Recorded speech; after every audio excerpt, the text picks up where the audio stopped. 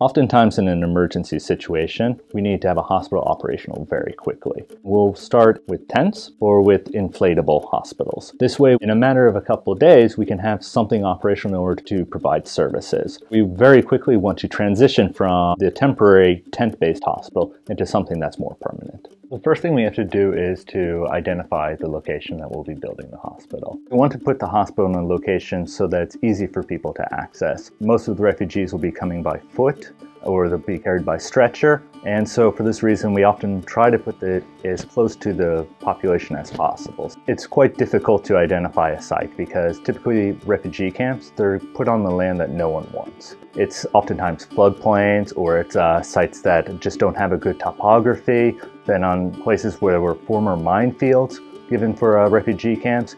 Water for the hospital is very important. It's not just for drinking water, it's also to guarantee the hygiene within the hospital. We talk to the local community, we see what their opinions are, what their knowledge is of the region. We look for places where there's dried up riverbeds, and in those types of locations, we can drill underneath the riverbed to find water. And then if we really can't find water anywhere, we start to use different creative methods. One method that we tried in South Sudan is we used the metal sticks method, where you take two bent metal rods in your hands and you walk very slowly over an area where you hope to find water. And then if water is under the ground, the sticks move and they cross over each other. Actually, in Maban in South Sudan, we used this method and we were able to find water under the ground in a very dry region. Unfortunately, it wasn't enough water for the hospital, but it was enough water to have drinking water for the patients.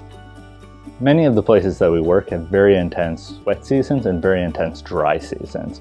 We want to get as much work as we can done during the dry season because once the rains come, the roads are washed out. Another issue is how to bring materials into the site. The places where we're working, there's not large markets available where we can access materials locally.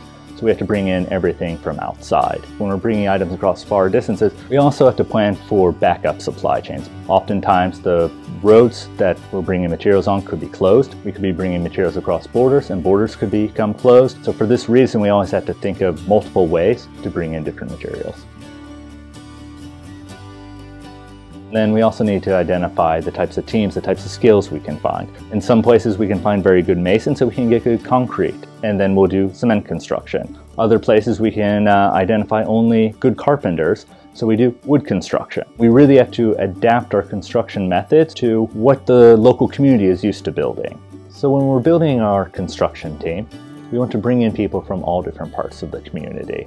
The reason we try to build diverse teams is because we want everyone to benefit from our services. By having a large diverse team, more people are aware of what we're doing there and we're making the community a part of the building and the hospital that is there to service them.